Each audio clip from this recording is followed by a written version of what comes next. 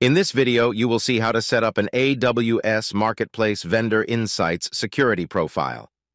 With this feature, you can gather security and compliance information and make it available to buyers to reduce the operational burden of responding to buyer requests for information. This is the AWS Marketplace Management Portal, where we're signed in to our seller account.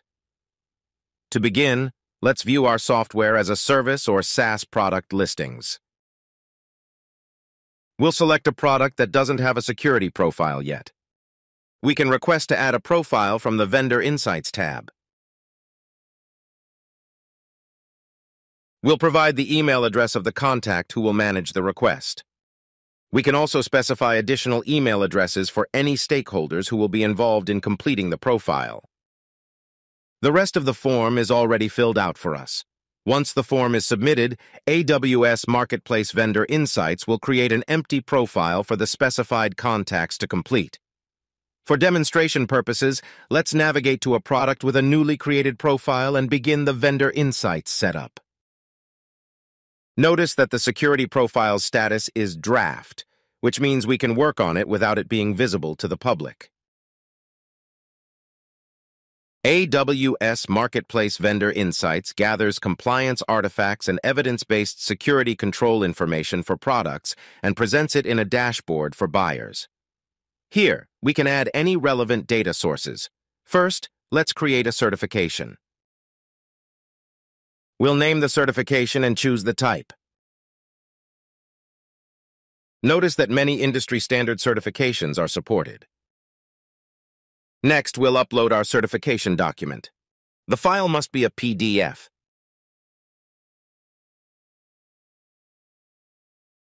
By default, the certification is automatically associated with the security profile we're currently working on. If we uncheck this option, the certification can be manually associated with a profile at a later time. Let's create the certification. The certification has a status of validation pending, which means AWS Marketplace is confirming the certificate type, expiration date, and product scope.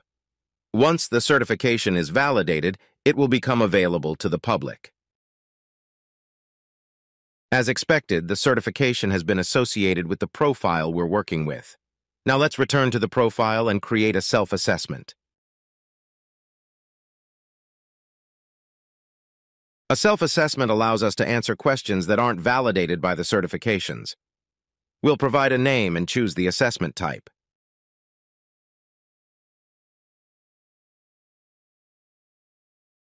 Next, we'll download the self-assessment template. The template includes a question for each of the 125 controls AWS Marketplace Vendor Insights gathers information for. We can answer each question with not applicable, yes or no. We can also provide a detailed response for any controls that require additional context. These responses will appear next to the controls in our security profile. Now let's return to the self-assessment page in the AWS Marketplace Management Portal. Once the self-assessment is complete, we'll need to upload it here.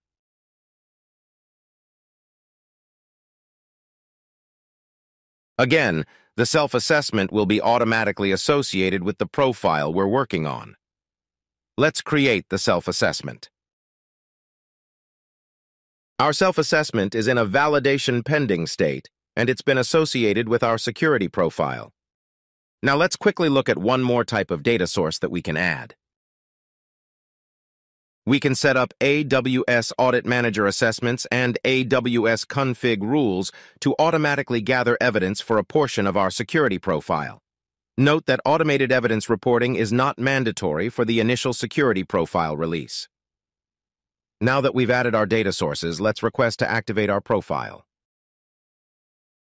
We can simply provide a primary email address and then submit the form. For demonstration purposes, let's switch to a product that already has a public security profile.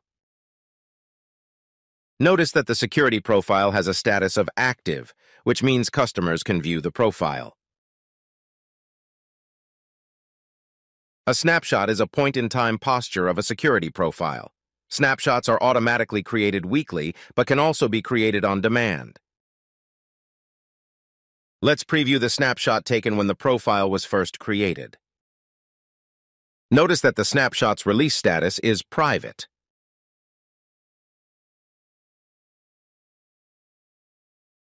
The snapshot shows that the profile is missing data.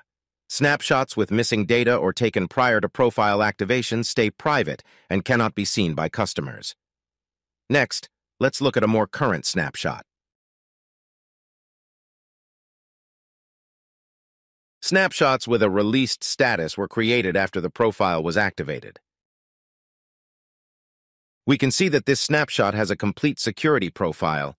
Let's return to the list of snapshots.